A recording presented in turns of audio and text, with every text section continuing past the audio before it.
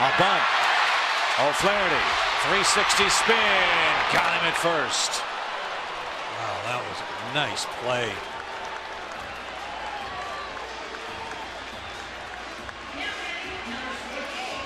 That was an excellent bunt, and with a left-handed pitcher, he had to do a little 360 spin here to make the throw.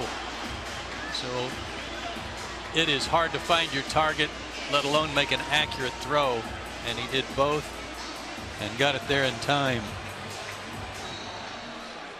And he was bunting for a hit. That is